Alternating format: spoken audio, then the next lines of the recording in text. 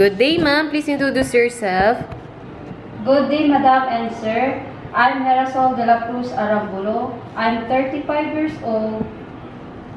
I'm happily married. I'm college undergrad.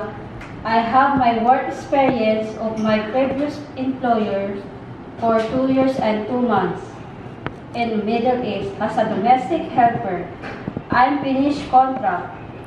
I'm started in August 11, 2021 to October 11, 2023.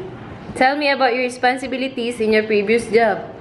Madam and Sir, my duties and responsibility, responsibility is doing house, household chores like cleaning the house, washing clothes, ironing, cooking, and cleaning the dishes. Can you tell us how will you take care of children, a baby, or an elderly?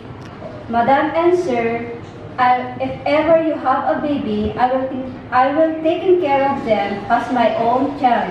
Please tell some of your skills.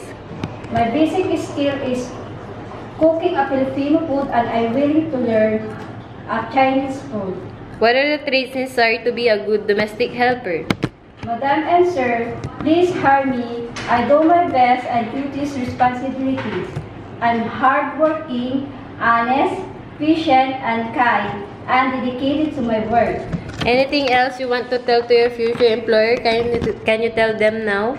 Madam and Sir, I will promise and assure you to finish my contract as long as you get my render service.